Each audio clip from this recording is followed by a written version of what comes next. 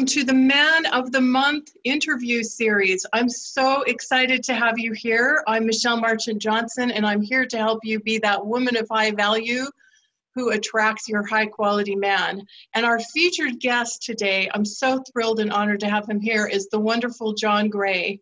Welcome, John. Happy to be with you. Happy to be with you. So happy to have you here. So I know, John, so many of the women here are going to be familiar with you and your work, but I want to give the formal introduction, and then we're going to dive right into talking about some of the insider secrets women need to know about men. I'm going to be having you share your wisdom on this topic and some of the things that can help women have more effective communication and relationships with men.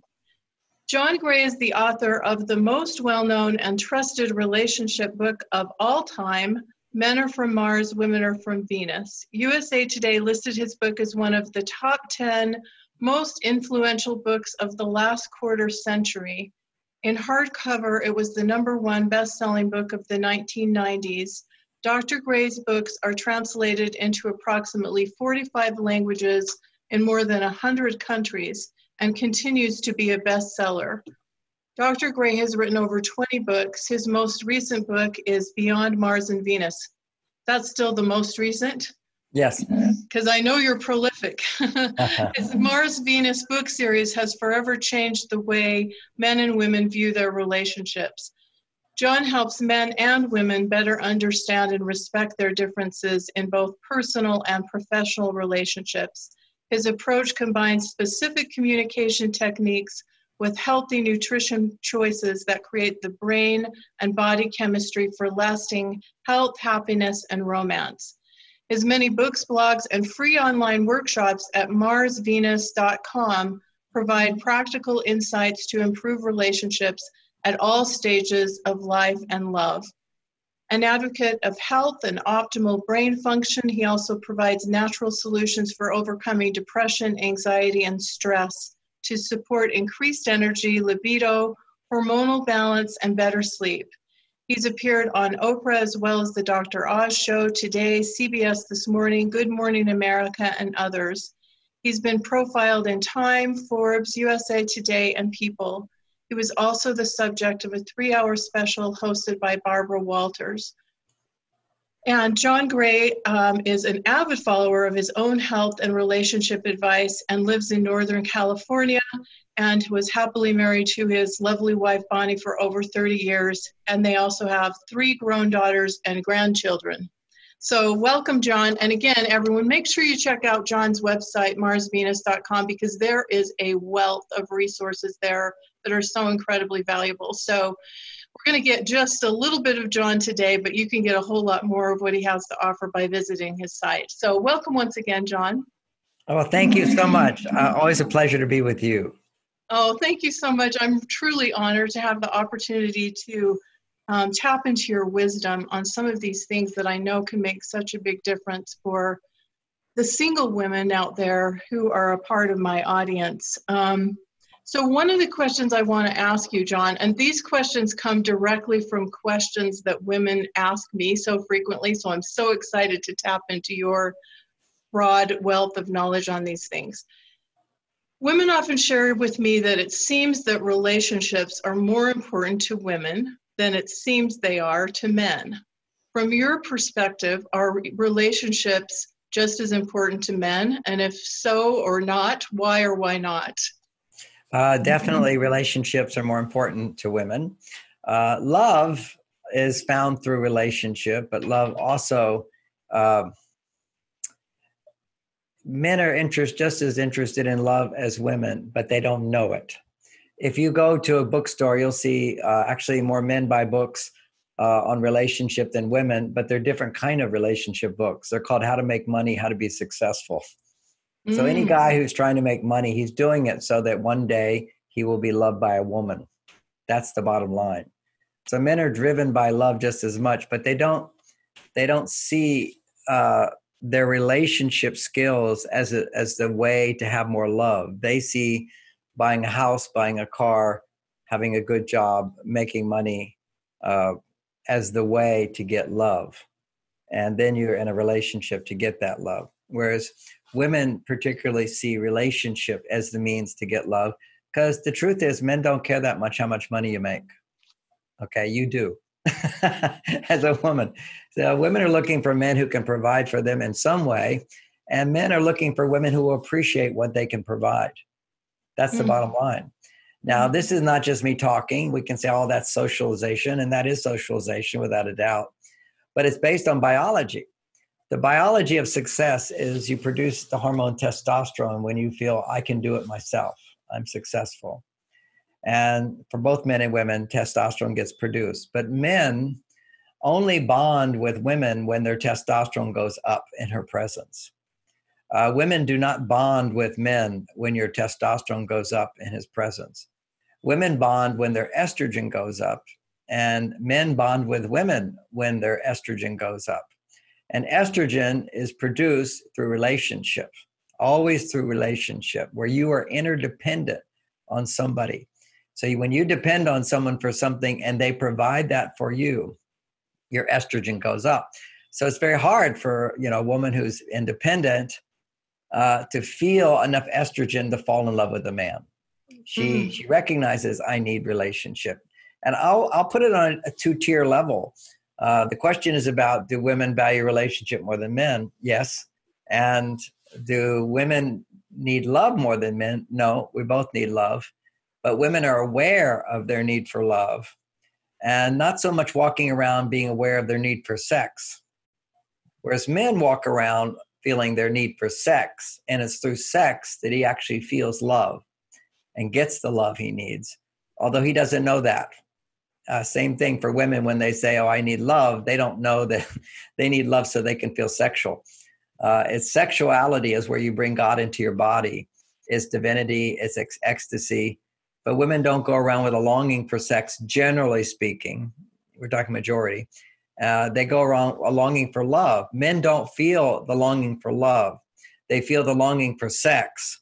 But sex is the doorway for them to love. But they're not conscious of that because we're not fully yet conscious beings until you have it. Once you know that uh, sex brings you love, then you suddenly, it's part of the maturing process for a man, and not all men get there, is that I want sex only so I can feel the love in my heart on a, on a greater level. That's why it's actually called making love.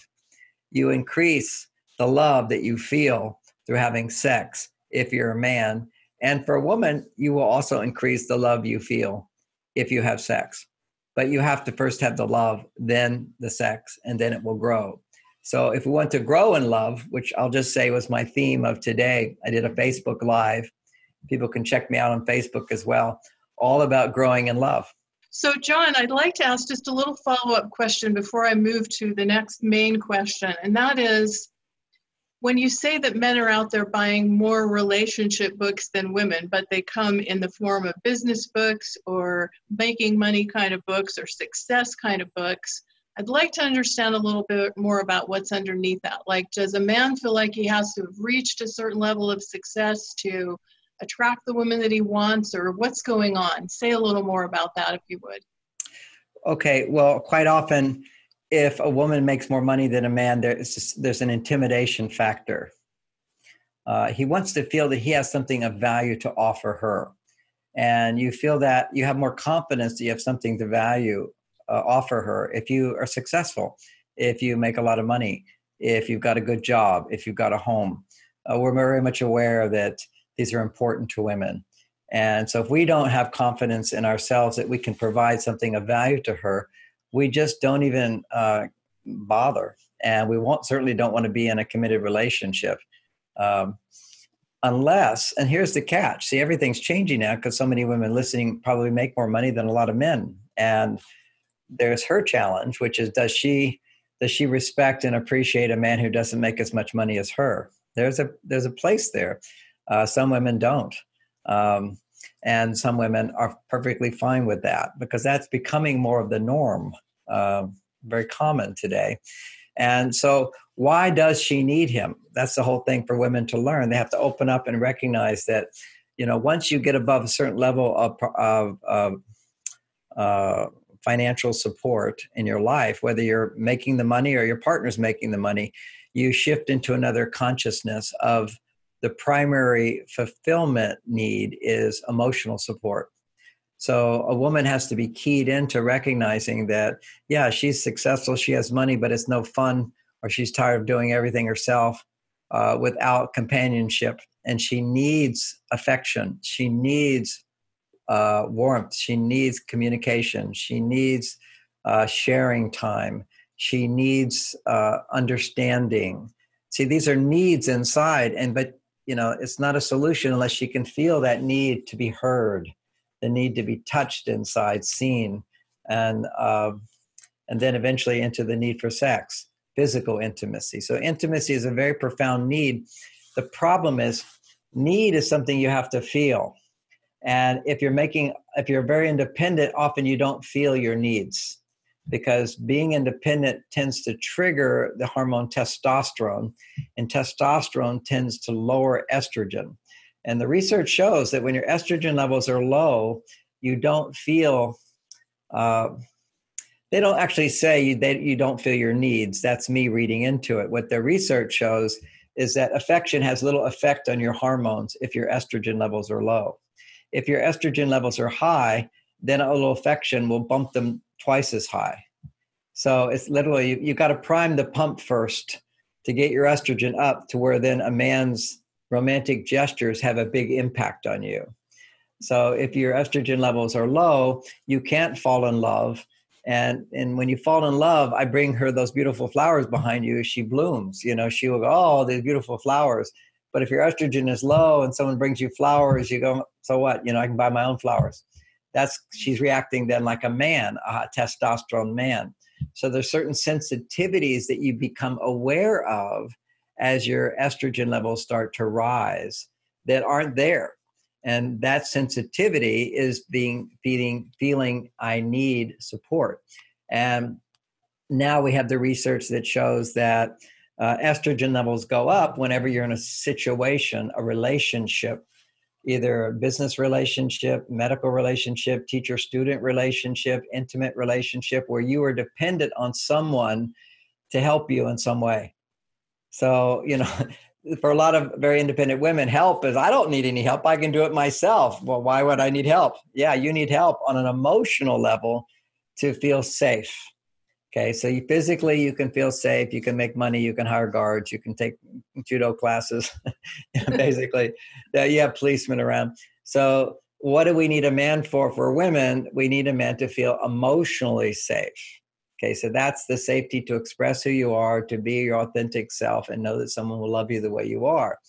Now, that in itself is an unrealistic ideal that somebody's going to just love you just the way you are if you don't edit yourself editing yourself doesn't mean you can't be authentic. It means expressing yourself in a way where a man can hear you. And I presume that your questions that we'll continue to look at will get into that is how to communicate so men will listen, as opposed to how to communicate so that men will lose interest in you or get defensive or become angry. What do you do at those times? You can sabotage a relationship or you can nourish the relationship. Yeah, yeah. Some of my questions are centered around that. I just want to make one comment to put the exclamation point of what you just said there, John. I think sometimes when women hear this word need and being in touch with their needs, I agree with you. That's so, so important because how can we expect a man to like read our minds? We can't. It's not going to work. But a but lot of women, I think, hear that as neediness. And I just want to say there's a big distinction, right? Uh, there's a big distinction. And, and you framed it, which is true, which is um, what you said. But a bigger part of this is for the woman to discover within herself these needs and to feel them to access your loneliness is not a is not a um, friendly feeling. I'd mm-hmm. rather be busy. To access a feeling why doesn't anybody love me? Uh, that's called feeling unworthy. Uh, you, you can go but look i'm so beautiful. I look what i can do. Look what i've accomplished. Of course i'm worthy. But inside there's a deep feeling inside there often of feeling inadequate unworthy afraid vulnerable that we don't want to access because on the other side of that feeling, and it's not that you are unworthy or inadequate, but on the other side of that feeling is I need love. And if I'm not getting love, it's too painful to feel that need for love, and we push it down. But the mind does all kinds of says, well, why don't you get love? What's wrong with you? And so forth. Well, we push that down. So a lot of this is work that women have to do on themselves to explore vulnerability. And well, we might just say they're non-reasonable emotions. Okay, they're they're non-rational emotions. They're what Freud says is they're irrational. Uh, basically all negative emotions to a great extent are irrational. You know the world's a great place. We're wonderful people you know? And you can feel i need love and feel and feel confident i'm going to get it and be happy that oh i need love and look at all the opportunities or you could be in a fight or flight response i need love and there's no one at my age that wants me i'm too old or i can't find the right guy or all the good guys are taken that's your brain going into a bias of fear looking at pessimism and you can see this in the brain. Uh, they can see brain scans. When you're being pessimistic, it goes to the right part of the brain up here. And when you're being optimistic, it's uh, going to the left side of your brain, which is, you know, it, right up here. You'll see blood flow and you think, oh, I can have. I'm able, oh, look at that. That's a possibility. That's a possibility. That's a possibility. Or this part of the brain, oh, that's not a possibility.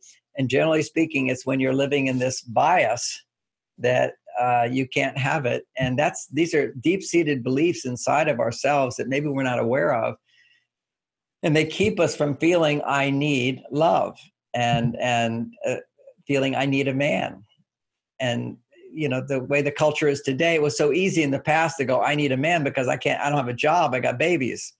So i needed a man. But now i don't i got, I got a job i can make money and i don't have babies anymore. So why do i need a man? Uh, you need love, and a man can provide that love. But you also then need to know skills to get it because men don't know how to do it. Yeah, exactly. Well, and so now I want to talk about some of those skills and get some of your advice on that. So, this is kind of a gateway question that I think will lead into some of that. We often hear as women that men want to please women and that even sometimes they want to be like our heroes, right? But what would you say to the women out there who hear that and they haven't necessarily experienced men in that way? That's usually the, one of the one of the reasons why we have this bias towards pessimism is because we didn't experience it when we're children. Mm-hmm. If you didn't have a mother who was adoring your father and a father who was kind and loving you, it's hard to trust men. And one of the symptoms of that is always being sexually attracted to the wrong men. That's just the biology of it. I've got a long explanation of the biology to explain it, but the the pattern is if you if you don't have role models of men who are trustworthy and you don't have a role model of a mother who believe that men are trustworthy, it's harder for you to trust men. And so part of you deep down inside wants to sort of please the man to get that love to excessively please the man to get that love, become what he wants you to be. And of course, every man wants a woman to say, Oh, I want to have sex with you. So your body just becomes all excited sexually in the presence of the wrong man. And what that means, if that has ever happened to you, it doesn't happen to everybody, it's, it's this wound inside that needs to be healed. The way you heal it is you get love from the right man. Now, you can't change your father, but you can find a man out there who can give you the right love but that man will always be a man who doesn't turn you on sexually.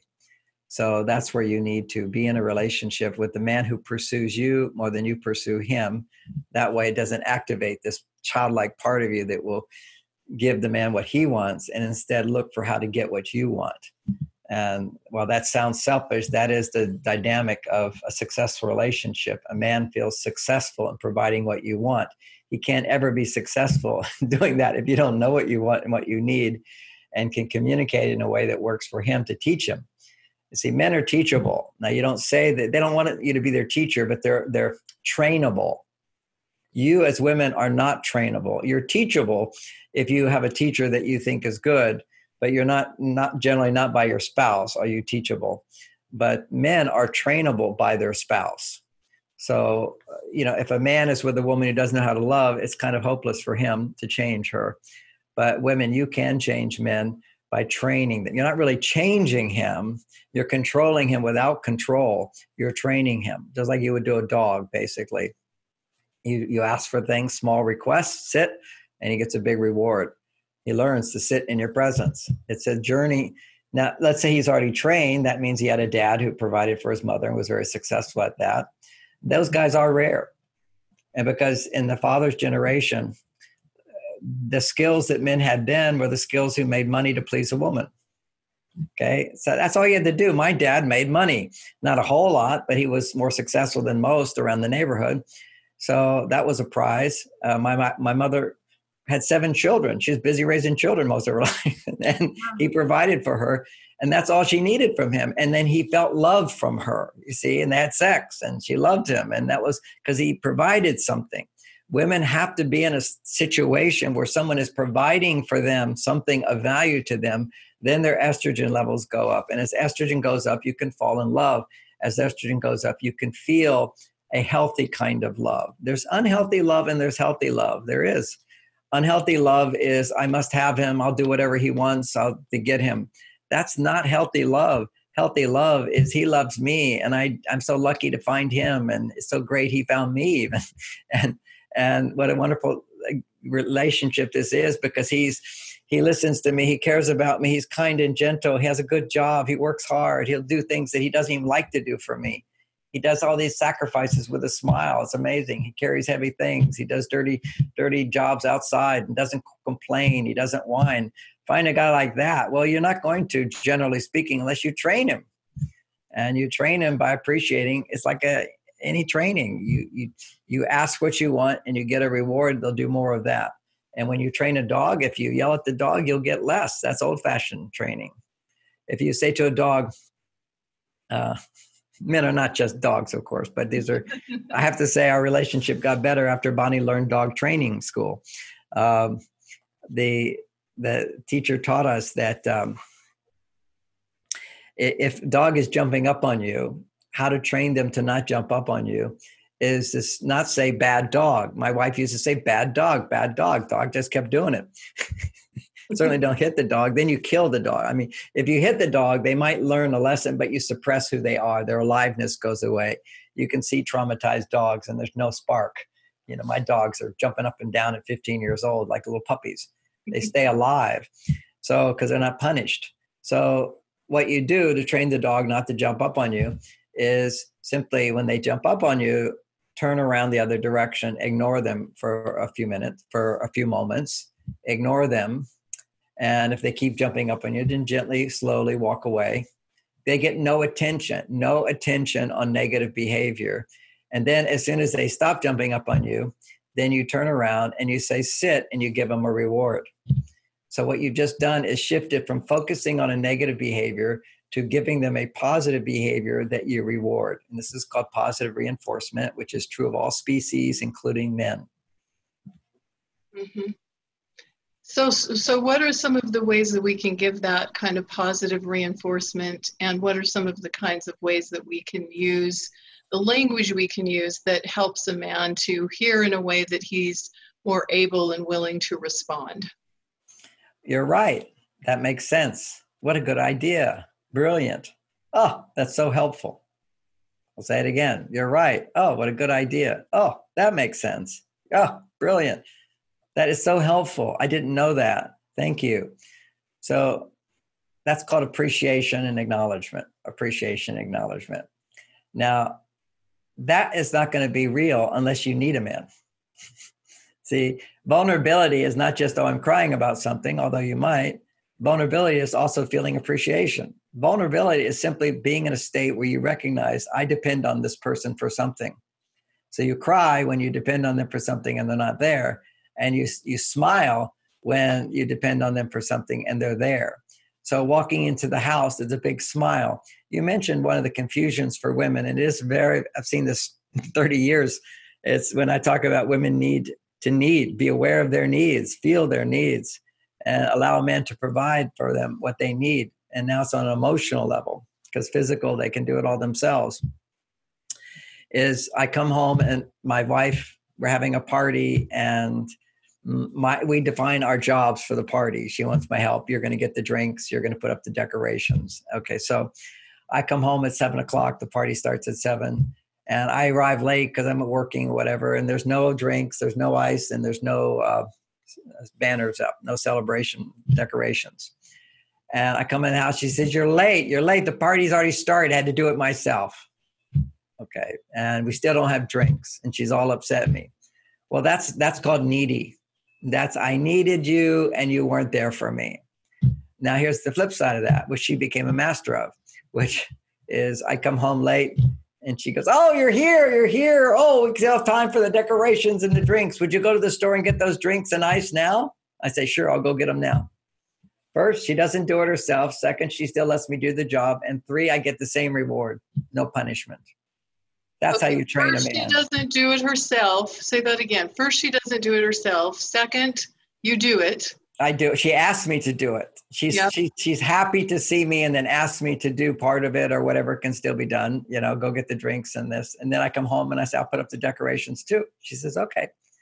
And so, then you get the appreciation and acknowledgement for doing it. As if I did it the first time without being late. You just have to get punishment, does not work with men. Disapproval does not work with men. Uh, criticism does not work with men. Withholding sex does not work with men withholding feelings does not work with men. Withholding your positive feelings. See women punish men all the time. Oh well you should know that if you do that you're going to get a cold cold v and that's punishment. That's manipulation. That's control. Any control pushes a man away.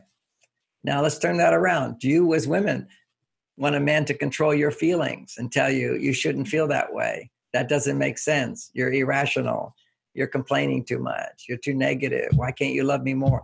He's basically criticizing or trying to change your feelings. You don't want that. Well, men have the sensitivity, particularly around their behaviors, making our behaviors wrong. And you can always say, well, how do, how do I get what I want if I can't make his behaviors wrong? How do I let him know? I mean, two monkeys, one monkey steps on the foot of the other. The other monkey doesn't have language skills. So the only thing the monkey can do is go, bup, bup, bup, make a big loud noise. Right. And if the big loud noise doesn't do it, then you step on his foot back. That's called revenge, getting even. Blah, blah, blah, big noises and stepping on foot. This is how we do as humans. I have to say that, you know, women typically want to first teach him a lesson and then then they'll get into revenge. But uh, men tend to go to revenge first. But uh, women, have this nurturing side. We'll have to teach him, have to show him. If he does that, then he won't get this. but this is monkey behavior. It doesn't work with humans, and particularly if you want to have a loving, passionate relationship. You have to have these new skills of not punishing, of not shaming, of not disapproving, of not manipulating, not trying to change his behaviors. But what you can do is your biggest force is keep coming back to love, appreciating, accepting, and trusting he's doing his best. Appreciating. You asked for concrete things. I gave you some words. Then I gave you an example of, of not punishing, but giving him a chance to succeed. You know, sometimes I'll say something wrong, and and when in the beginning of the marriage, she said, "Oh no, you already said that. You can't change it." I said, "Why? Why can't you let me change it?" I see I made a mistake. I, I take that back. I said it wrong, or I don't really mean that. No, no, you said it. You mean it. You mean it. Okay, you want to suffer? You can continue to suffer and get less and less. You got to like go with the flow. People make mistakes. Let them self-correct. Give them rewards for self-correcting. Yeah, yeah. And it's sometimes like, do, would you rather be right or would you rather have love or would you rather feel good in a relationship, right? It's true, but there's a lot more to that because there's this whole thing about control. You know, we're trying to change our partners. If you, I'm basically clear. There's no doubt everybody wants more. There's nothing wrong with wanting more, which means your partner's going to change but it's not your job to change them. Your partner, your job is to communicate successfully what you want more of at the right time in the right way. Mm-hmm. And have plenty of reward for him. And what is that reward? It's your appreciation. It's your overlooking his mistakes. It's your giving him a chance to learn again by trusting he's going to do his best and eventually you'll get more. Yeah. Anytime you don't trust a man, you're punching him in the stomach. And how many times do you not even ask a man to do something for you because you're afraid he won't do it? that means you're not trusting him. Right. You, it's a self fulfilling prophecy. If you don't trust a man, men just back off. It's the most refreshing thing for someone to need you. You can't need someone, by the way, if you don't trust them. You see, if you if I need your love and I don't trust you'll give it, I'll stop needing it. That's just human nature. Well, I can't get it from you. I'll need it from someone else, or I just don't need it. That's yeah. another denial thing we do is we deny our needs. It's the old Aesop's fable. The old Aesop's fable is the fox who wants the grapes and runs to get the grapes, excited to get the grapes, imagines eating the grapes, and then there's a big fence and he can't jump over it. So he says, Oh, I don't want those grapes anyway. They're probably sour. Sour grapes. That's the old story. Sour grapes. Sour grapes. Yeah. We just well, say, Oh, I don't want it. I don't care about it. And men do it too. You know, we get rejected by our wives with, I don't care. I don't love her. Men go into, I don't care. Women go, then I don't need him. Can't trust him. Men go into, well, I don't care. No matter what I do, it doesn't make her happy. Why bother? And this is not who we are. This is who we become when our heart is not open. And that's just that we don't get the love and support everyone we need. Men just need a different kind of love. Women need a different kind of love, more caring, more understanding, and more respect. Yeah. So coming back to a dating situation and how a woman might ask a man for something that she wants. Let's just say a man says, "So what do you want to do?" which is a question, you know, that sometimes makes us cringe because we're like we don't want to be the ones that have to come up with all the ideas but let's just say there are some things that would be fun to do what's the best way for us to ask for a man in a way that he can respond where he still gets to provide something of value for us so that's well, you, you gave a, a kind of a double question there you said a guy says what do you want to do that's the typical guy thing okay what do you want right. to do you should always have three things that you want to do that's your job your job is to have three things. He doesn't know what you want to do. So what do you want to do? Now, certainly it would be better if he thought of three things and said, oh, we could do this, we could do this, we could do this. What do you want to do? Uh, that would be nice, but he's not going to do that. He's not trained to do that. He doesn't know the value of that. He doesn't know that that's winning the lottery if you do that. So what you what you have to train him, okay, is he says, uh, what do you want? Say, hey, uh, let's get together next week. What do you want to do? And you said, well, you know, there's lots of things that make me happy. Uh, we could uh, we could do this, uh, we could do that, and we could do that. And don't ask him what he wants to do. Don't need to. The date, a romantic date, is he provides for you what you want. And he will feel most successful and bond with you more if he provides what you want. Now, if he says, well, let's go watch this football game and you're not into it, then you'd basically say, I'm not really into football, but you can go with your friends. These are some things that I like. And you sort out the, the jerks from the good guys. And there's a lot of good guys that go, Oh, wow, a woman knows what she wants. Oh, I'll take you to this place. I'll do that for you. Your job is do three things. And then you basically say, You pick. Then he gets to pick. And if he gets to pick, he gets credit for taking you. You don't want to tell him what to do.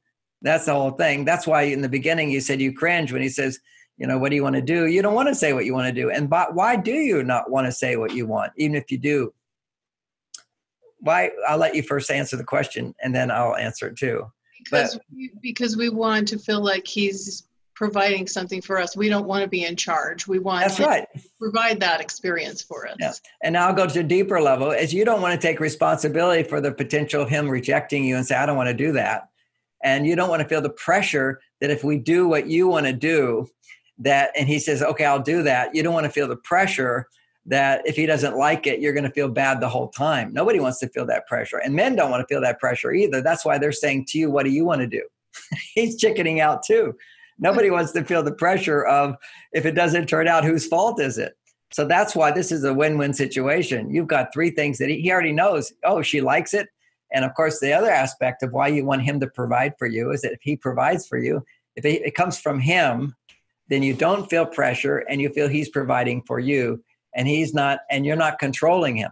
Because see ultimately even though women do so much all the time to control men although they may not think they do i could explain that later if you have that question but they do so much to control men they don't want to feel that they're controlling because being controlling is not loving but women the biggest complaint men have about women is complaining criticizing and controlling and most women know that they complain too much most women know that they can be too critical, but most women are not aware that they're controlling. And that's the biggest issue for men is women controlling. So what would that be?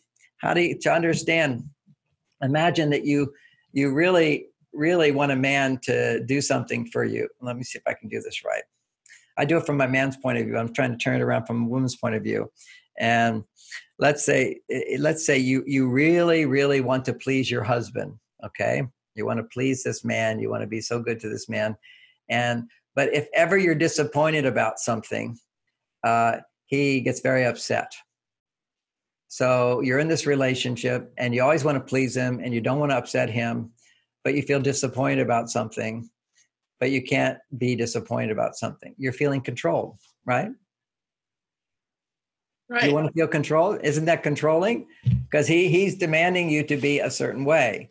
Then see, it's better for me to give this example uh, from the man's point of view. The number one thing that makes men happier is your happiness. So when you say this doesn't make me happy, then everything inside of him says, okay, then I have to adjust myself in order to make you happy. And if that doesn't make you happy, then I have to adjust myself to make you happy. So that's what men's basic need is in a relationship is to feel needed by you to provide for your needs. Your basic need is not to feel needed by a man, although you think it is. Okay, because you think if he needs me, he won't leave me. No, if you need him, he won't leave you. Just that's the truth. If, if you need him, he won't leave you.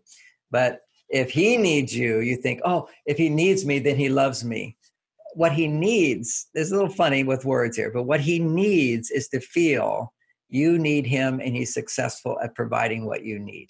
Then you'll never lose him. But then you, what happens is women get into this place of, well, does he need me? Does he not need me? If he doesn't need me, he, he, he'll leave me. Well, on one level, that's true. He does need something, but what he needs is for you to feel you need him. And why does he need that? because you can't love him unless you need him. You can love him like a child, but that's not what he wants. Right. You can be his mother, that's not what you want, that's not what he wants. For him to feel like a man and have physical intimacy and adult love, he needs to feel he is providing something of value and meaningfulness to you. And so you have to feel, I need it. You have to feel like we all need food. A simple example of this is our need for food. if you go for two days without food, no matter what you eat, it's going to taste good. Right. I love this. I love this. I love this. Doesn't have to be some great dessert or whatever. it's a bagel with cream cheese, and you go, ah, oh, delicious. Okay, so this is feeling your need for something allows you to feel appreciation and love. Without feeling the need, you can't feel this kind of love, which is the kind of love that men need, which is to appreciate what he offers, to accept what he who he is even though he's not perfect and the trust he's doing his best. And the trust that his intent is to be there for you even though he can't always be there for you. Those are key things. And you know what women will tend to do is he he doesn't he's in one bad mood or he doesn't do one thing right or whatever and she goes oh i can't trust him that's called all or nothing. No, you can't trust him to be perfect all the time. These are like words we need to remind ourselves. Okay, yeah, I can't trust him to be perfect all the time, but I can trust him. And look at all the wonderful things I've got from him and I can get from him and I will get from him. That's being optimistic. That's using a part of your brain. But if you're in fight or flight, meaning your body's making adrenaline or cortisol, your body goes into this brain bias of focusing on negativity and you can't get out of it until you get your stress levels down and you can't get your stress levels down if you're a woman until you start read until you do things without depending on a man. Okay this is the key. You have to do things not depending on the man to raise your estrogen levels so that then you can depend on a man and have a big reaction. Because you're not going to get a big reaction he's not going to do something. The big reaction is actually feeling a lot of appreciation. You know they found that when women's estrogen levels are low that if you give a flower, it doesn't do anything. If your estrogen levels are high, you can give her 50 flowers, it will go higher. You give her one rose, it will go higher. Same effect if your estrogen levels at a healthy level. And I know many women listening, their estrogen levels are just low and it's part of getting older. But no, it's normal for them to go lower than when you were younger. But the problem is balance. You still can make enough estrogen even if it's not as high as it used to be because you're not making eggs okay you're not dropping eggs so your body doesn't need to make a baby so it doesn't need such high estrogen levels it still can have plenty of estrogen to fall in love if she's in balance with estrogen and progesterone and not too much testosterone.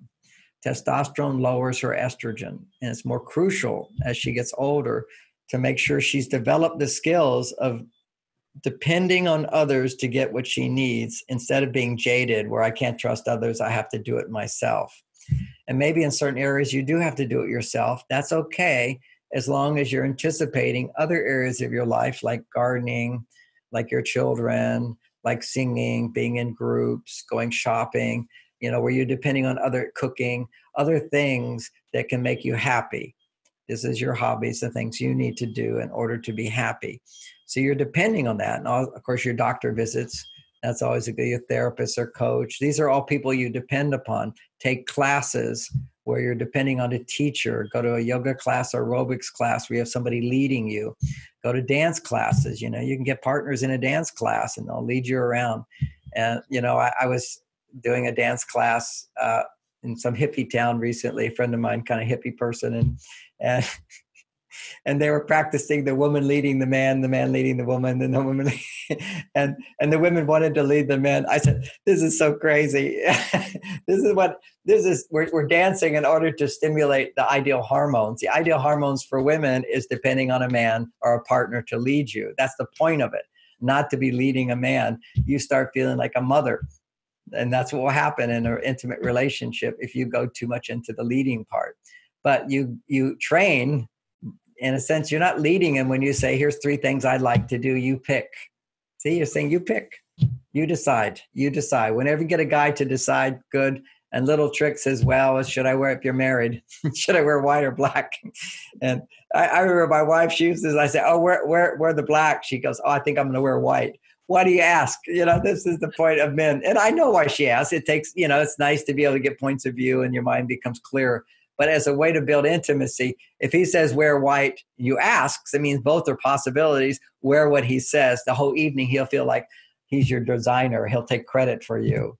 He'll, oh, I did that outfit. You know, he'll feel good. He'll feel more connected. Anytime a man has to take responsibility for you, he feels more connected to you. Anytime you are responsible for him, he will lose connection for you or have less connection with you. And, and you, I think this is so profound, John, what you're saying here. I think it's so powerful and so important, especially for those of us, myself included. For many years, I was single. I've now been married for 13 years, but I felt like I had to do everything by myself. And transitioning into marriage was a big adjustment for me. I've learned a lot of things over the last 13 plus years, but learning how to let my husband win, kind of setting him up to win yes. has been one of the most profound things that I've I've had the privilege of learning in our marriage. I can remember once early on, I had asked him to do something, and then I was like looking over his shoulder, talking, coming back to this control thing. I was looking over his shoulder and giving him a few tips on how I thought he should be doing it better. And he turned to me, you'll laugh at this, he turned to me and he said, You can either tell me what to do or how to do it, but not both.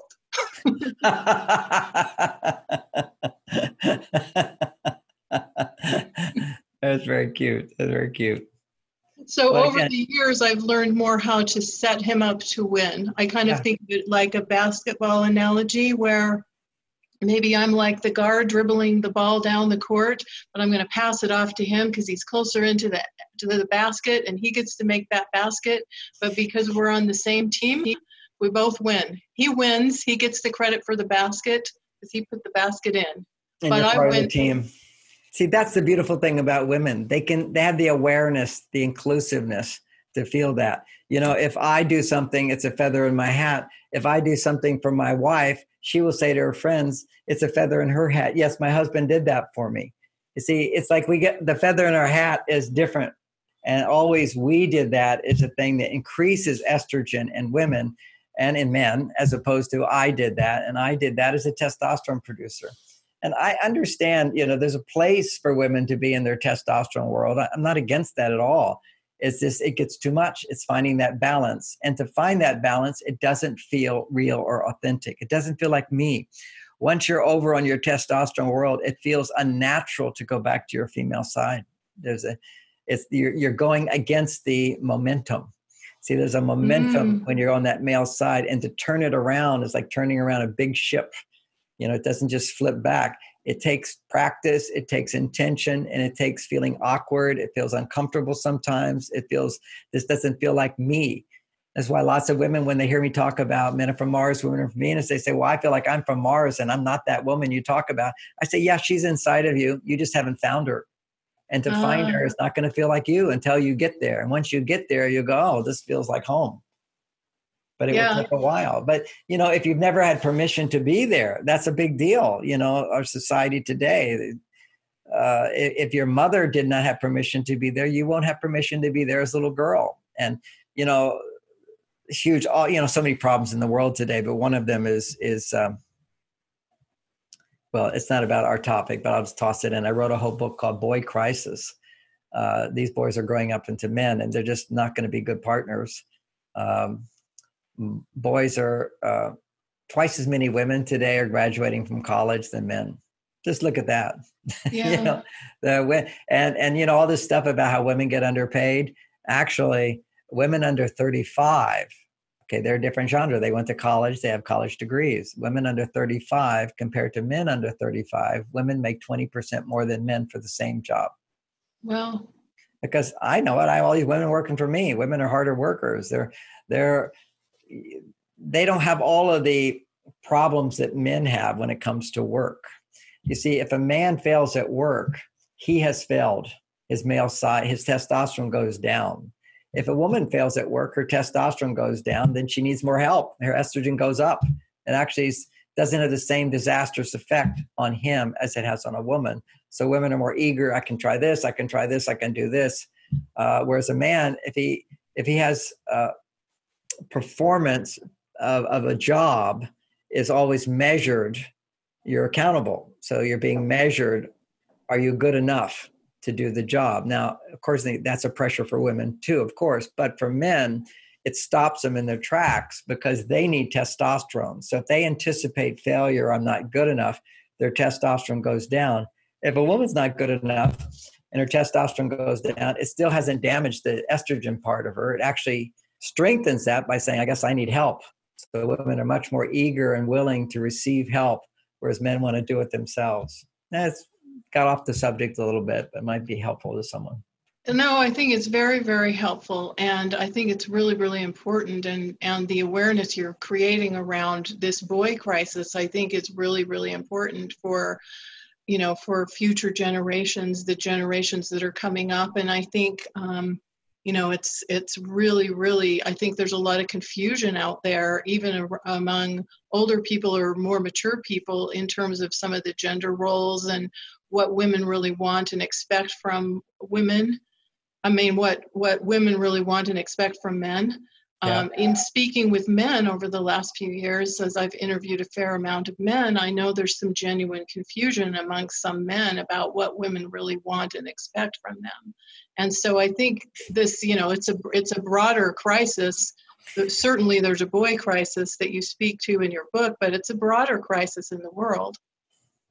It's big time. But you, you just said something really, really appropriate to the goal of this conversation, which is uh, for many people listening, single women wanting to understand men better. Don't ask men so many questions like you would do a girlfriend. Mm. Don't let him talk more than you. Don't let him talk. You'll see that if you're still single, you ask too many questions. And mm. just let him clam up. Uh, uh, you know, ask a few questions. Make sure that if you ask him, if there's nothing happening, you can always ask a question get a short answer. As soon as he gives any answer, immediately say something like, Well, that's a good idea. That makes sense. Or really, that's so interesting. And then start talking. That, you know, that's called priming the pump. Sometimes you can't. you can't get the water up till you stick a little water in. Get him to talk a little bit, then change the subject back to you. The problem is, women want to have the connection. There's two ways to connect. One is to go into him, or he goes into you. Your job, women, is to get him to come into you. That's called attract him in, bring him in, open up, let him see you, let him come into you. That's where he will bond. If you go into him, he will not bond with you and you will not be satisfied with him. Mm. And, and then it goes also another thing it does besides dissatisfaction, it's also going to and activating this uh, bias towards negativity. Uh, it will also put him in the friend zone where you just can't feel any physical attraction to him. And I mentioned before that sometimes the right man for you is going to feel like the friend zone. So don't do anything to encourage the friend zone. Uh, basically, this is the guy who's more interested in you than you're interested in him. He's your gold mine. He's to retrain your brain that you are safe in the presence of a man. You don't have to seek to please him. You let him please you. And you can practice how to ask for help. You can practice giving him three things. This is what I'd like you to you pick. Here's three things I'd like to do. You pick. Practice not trying to change him in any way. Practice not having sex right away unless you just can't stand it and you want to have it. But it should be not to change him, it should be for you. See, many women feel so burnt because they had sex with a guy and he doesn't call back. And I go, why does it hurt? Well, you know, you didn't call back. I said, so you were expecting more from him. You see, mm-hmm. it's you have sex, is you're basically saying, okay, if we have sex, take this back a few years. If you have sex, you have to marry me. I mean, this is still some deep conditioning inside, you know. It's like, what? Mm-hmm. We had sex, you owe me. You know, if you have sex women, it shouldn't be a man owes you anything. It should be you are having sex because he's already given you everything that you want to open yourself up that's when sex is great. And he will enjoy sex more if it's not if it's not like um, you're doing it for him. Sex should be for you. If sex is for you it's because you needed it and you like it and you love it and then he will love you more. So that's the wisdom of waiting. But today with so much pressure you know uh, and particularly if you're dating the right guy for you if you have this pattern of dating the wrong men then if it's the right guy you're not going to really feel that warmth yet. Uh, so and he's going to probably be too shy to put the moves on. But if he does make the moves there's so much pressure on men to like have sex right away in a relationship then you you basically if you're kissing and making out you just say, oh this feels so good. And he says yeah. And he wants to go further. You say oh i like to go really slow and he'll feel like what? You know it's like a failure to him. Then you you support him at that moment. You say oh i would love to have sex with you. It's just i need to go slow. I can't wait. Then his ego is satisfied you know and it is an ego thing and they all have it. And uh, it's a it's a you know they have sex and the sooner you have sex for many many men uh, is a sign of uh, he's superman kind of a thing. It's a testosterone booster but also the same testosterone booster is i like to go slow but i really can't wait till we do that. That's exciting to me. I want to do that. So and then you don't have to do it later. You can change your mind you know? But but right. do something so you just just knock down his ego with rejection.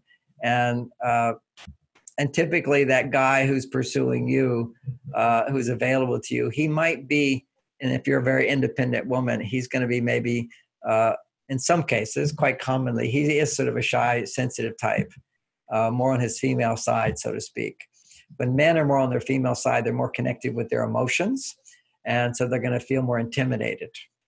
They're in touch with fears. The guys who have no intimidation at all, they're on their male side. You know, they don't have any emotions. it's like, hey, I'll just go do this and do this. You know, and that you toughen up. That's all masculine energy. And what you want, typically, if you're an independent woman, you want a man who's going to be uh, on both sides, okay, to a certain extent. Uh, and they're they're the ones who are trainable. You you know, one level. I remember when Oprah just started out. Out know this vision came to me. I remember I'd done a lot of Oprah shows, but I remember when she just started out, maybe a year into her show, she was standing there and talking about uh, what do women want, you know, and, and and she got all excited when she when somebody said, "Yeah, we want a real man." We want, and Oprah goes, "Yeah, a real man, a real man." And it's kind of like, well, what is that real man? And then she says, yeah, he'll take you. I said, yeah, what real man took Oprah? you know? Right, right. you know, there's a, you know, you don't have to have somebody be so powerful they sweep you off your feet. If you're already a powerful woman, you need to bring yourself to your vulnerable part, which depends on someone. And generally, the more powerful uh, man is, uh, I won't say this. It, it, just, I just typically there's going to be more attraction between somebody who's on their female, a man on his female side needing to go to his male side is a good fit for a woman who's on her male side needing to go to her female side. For the guy who's really on his male side, he needs to have a woman who's really on her female side. Okay, and so they'll come together. Uh, and, and because he's there, she'll feel safe, and her male side will come forth as she appreciates him more as he takes care of her, his heart softens because she's so vulnerable and dependent on him. He becomes a better person. So always there needs to be this sort of complementarity. Uh, you have to be complements in some way for there to be an attraction. Some gain has to be there. So if you're a woman and you're on your male side, you're you need to come back to your female side, but you want to keep your male side. You don't want to push that away. That's a beautiful part of you.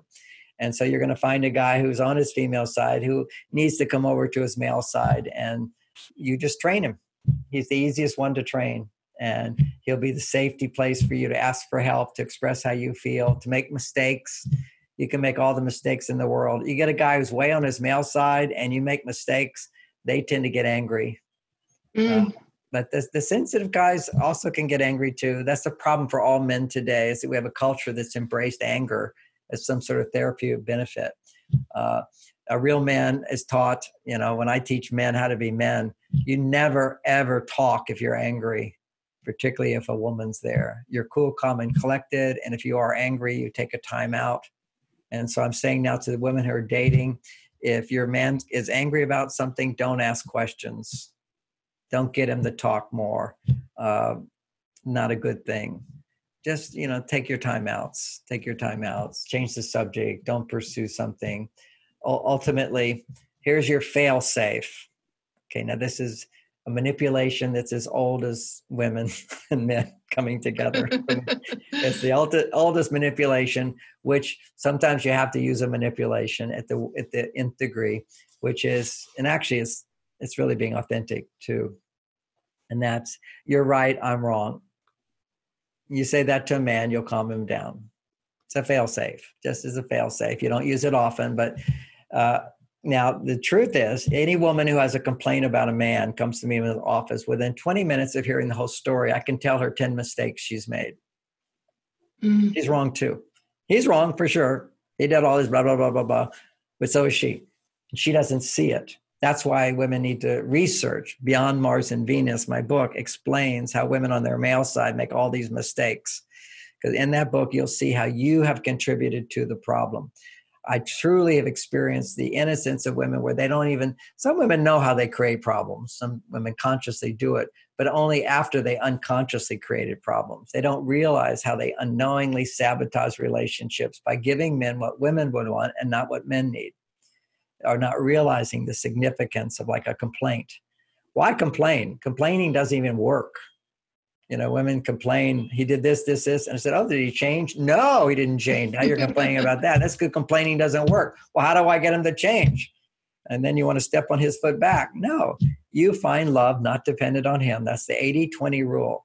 80% of your happiness comes from your life. So you're not dependent on him to be happy. He can't make you unhappy because you're already happy. All he can do is make you happier. Having said that, men can make you unhappy by interfering with your process to become happy. Okay, so let's say my wife's unhappy and she wants to talk, and I keep telling her she's wrong for being unhappy. That will make her more unhappy. So men can make you unhappy without a doubt. But your job is to stay away from them disengage from depending on a man to make you happy. Do what you have to do to raise your estrogen levels and make your happiness. Then go back from that place and use new skills I talk about in my book to ask what you want and get it. And there's a lot of skills there. Mm-hmm. Yeah, thank you so much for mentioning that book, Beyond Mars and Venus, right? That's the book you're just referring to right there. Yep.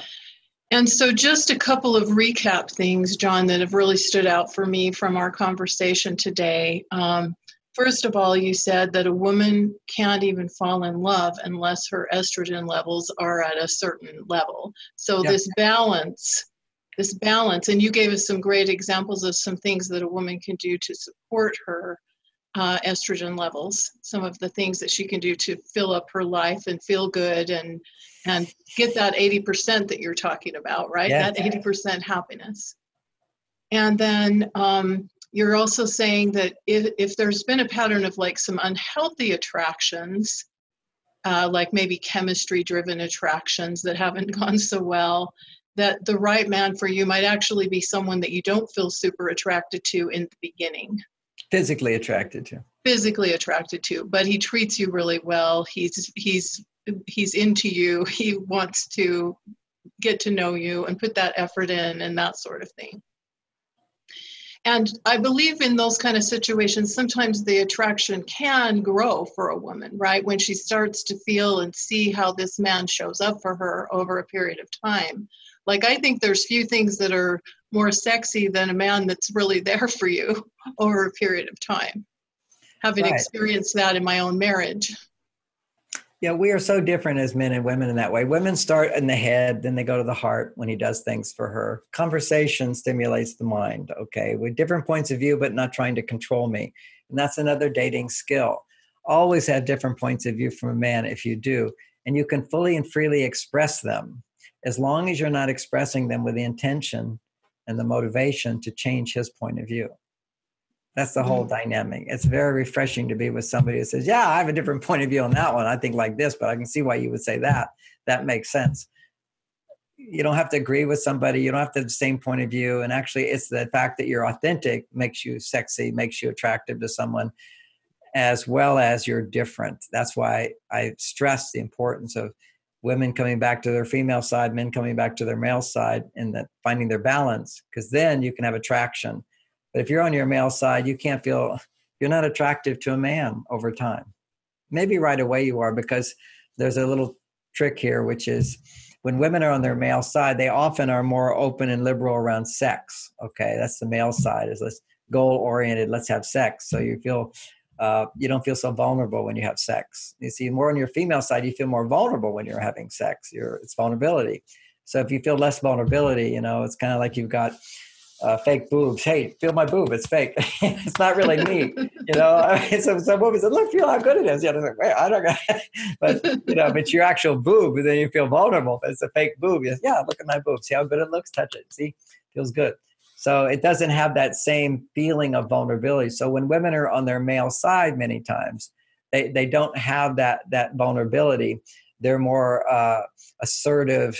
They know what they want. They go after what they want and a shy guy will kind of go oh I, you know she wants to have sex i don't have to initiate it she'll she'll come to me so you'll you'll tend to um, if you're on your male side you'll tend to feel attraction to men who are more on their female side but then you'll lose interest because they stay on their female side okay you'll, you'll feel like mm-hmm. their mother after a while you'll start trying to control them and change them and so forth and it won't feel good that's what i hear a lot from women who get in these relationships. The man will become very passive.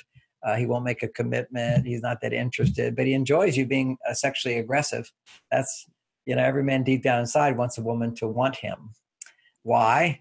Because when a woman feels really safe and her estrogen levels shoot up really high, that's when you feel really safe and you feel I can depend on this person. Then at that point, your testosterone levels spike. Why is that? Because you, well, first of all, that's your biology. Whenever a woman ovulates, her testosterone spikes. Her estrogen goes to the highest level when she ovulates. Then the testosterone spikes to say, go out there and get pregnant. See? It's like now I can be pregnant. Now I can go out there and get pregnant. But when that testosterone spikes, it doesn't uh, lower her estrogen too low. It keeps it very high. It will lower it. Testosterone lowers estrogen. So when that testosterone spikes, her estrogen will start to come down a bit. But she's still at the high, high double double level, 20 times higher than a man's when she has that climax. And her testosterone is not near close to a man's, but it's much higher than it normally is for her. And the studies show that. Uh, that's how you can know if a woman's ovulating is you can see the hormones changing. So this is also we are we are animals, okay? People have to get that. We have all these biological urges and attractions and feelings and needs and so forth and and then we've got this little person in the driver's seat right up here in our forehead and he can be a pessimist or an optimist and you can control that. First of all you have no control over it if you're in a fight or flight response. Uh, so how do you get out of fight or flight responses? Flight or flight response will lower blood flow to the prefrontal cortex of the brain. And uh, adrenaline will activate your pessimism or your optimism but then when adrenaline turns into cortisol it's two-step process little stress big stress once it's big stress then no blood flow goes to the front part of the brain and you're just a conditioned animal and you could say you're a human animal because uh, your conditioning came from your parents what they did when they were stressed but they learned what they did when they were stressed by what their parents did when they were stressed, who learned from their parents, who went their parents, all the way back to when they were all monkeys. And so this is this tendency. It's all in all of us. We just have to see ourselves for what we are, but know that we're more than that. But we're only more than that when we have blood flow to the front part of the brain. And that's for women or men where we're only 20% dependent on our partners for happiness.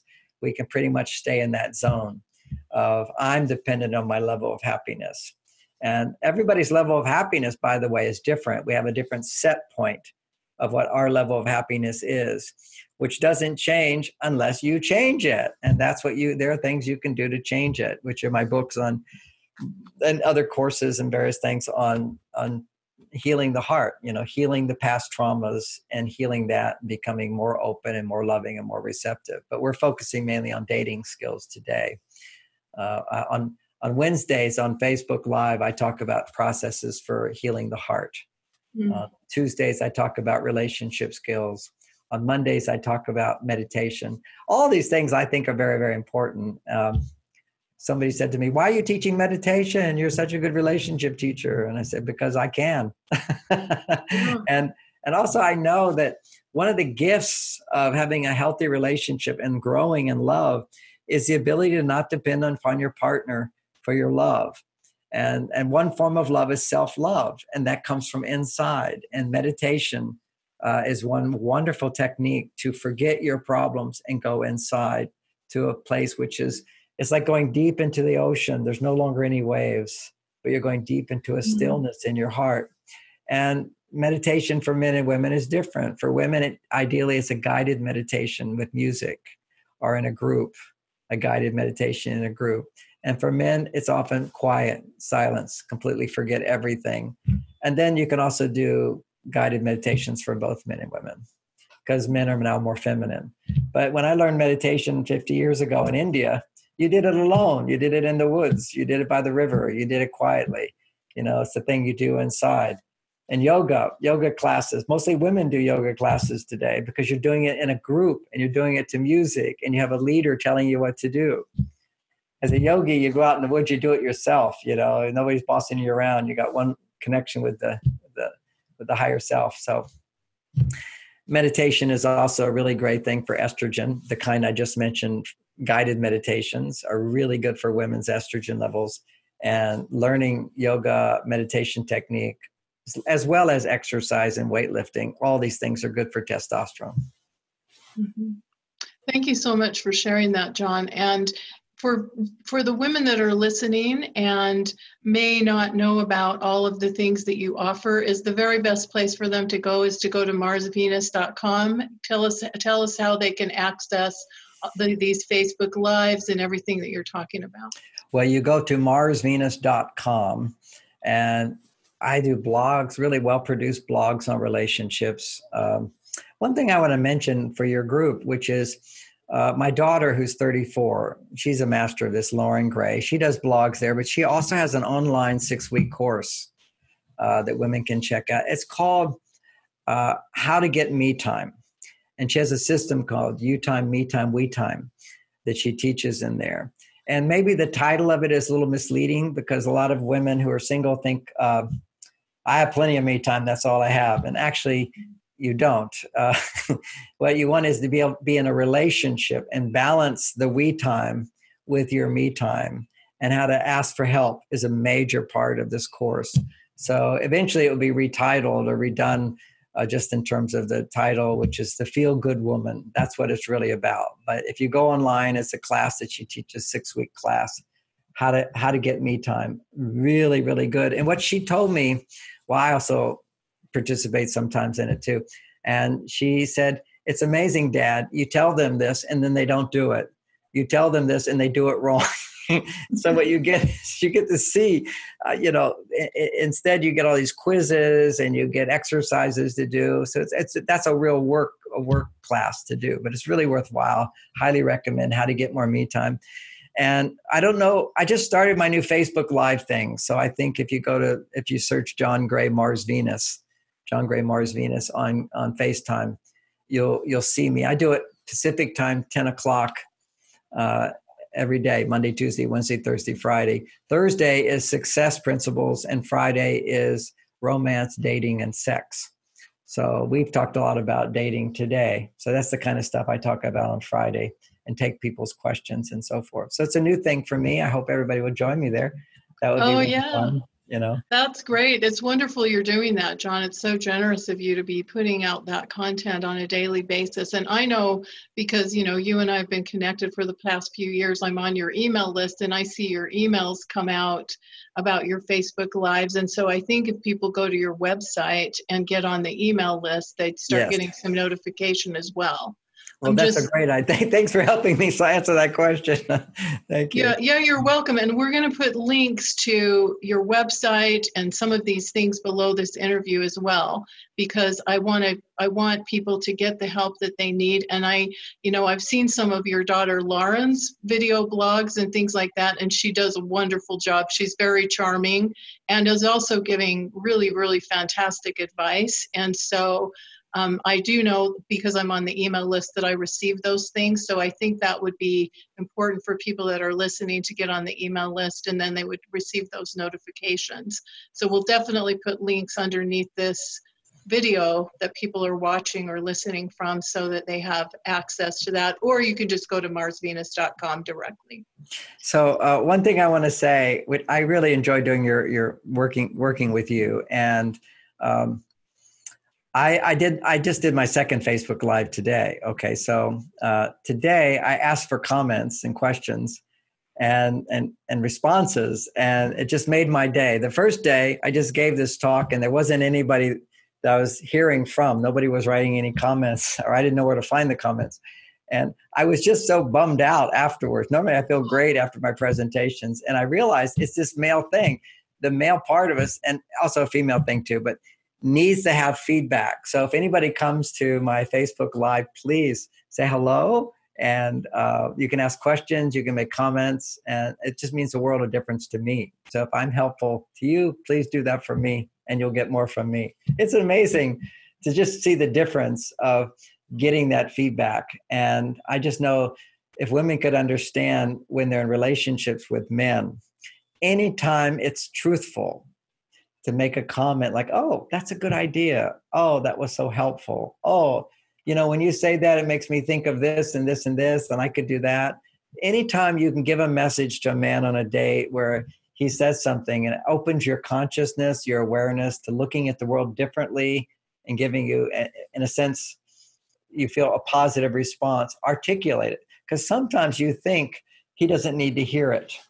That's a really key thing. And just as men often don't realize how much women need to hear i love you you're special you're beautiful hugging you being attentive to you. The little things make a big difference and men just don't know the power of that. And the flip side of that is women don't know the power of the little expressions and appreciations and comments uh, that a woman can make. And it makes all the difference in terms of a male bonding with a woman and for her to feel her estrogen levels rising so you give 50 roses to a woman with low estrogen, you might get a little tiny estrogen response.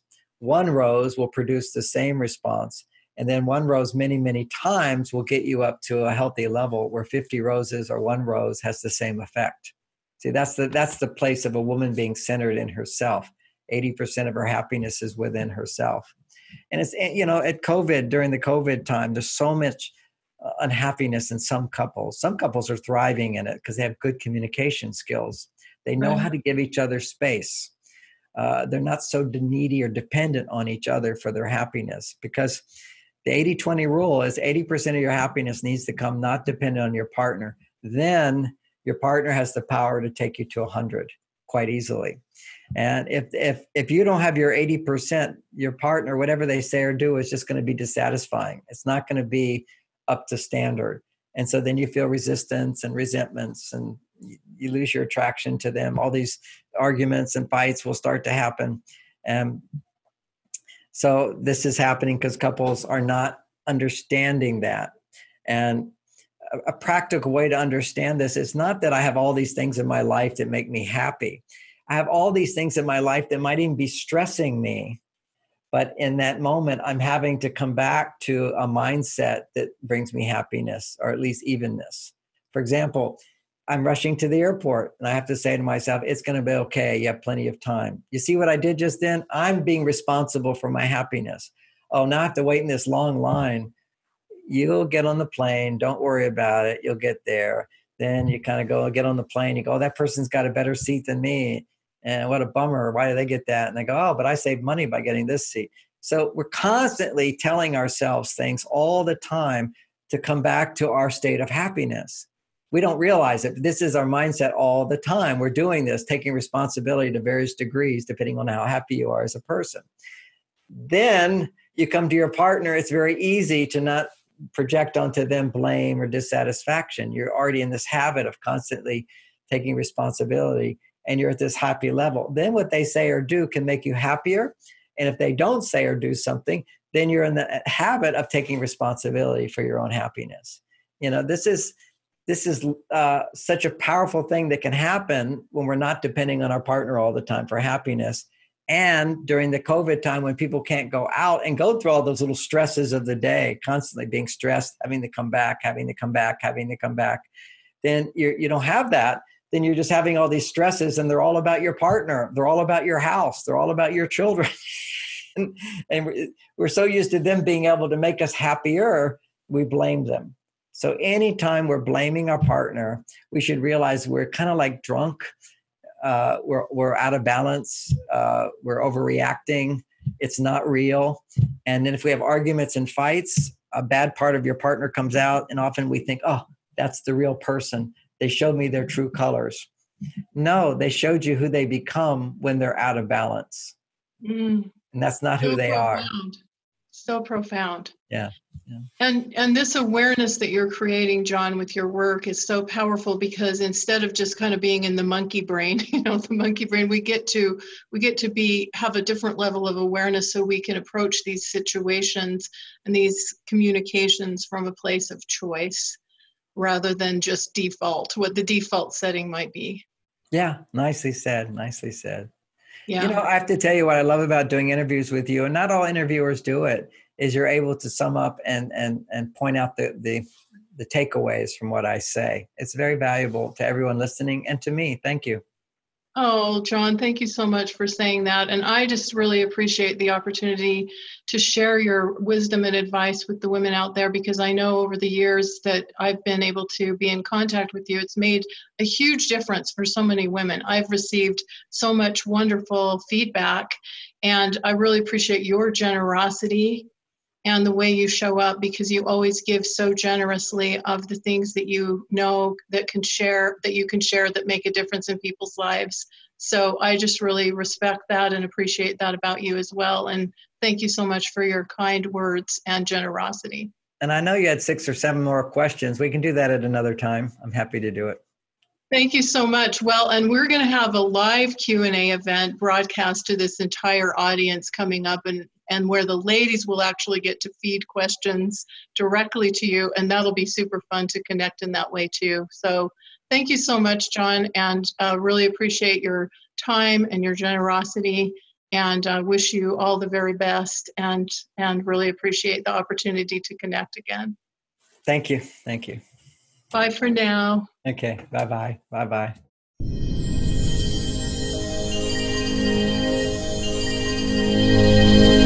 You.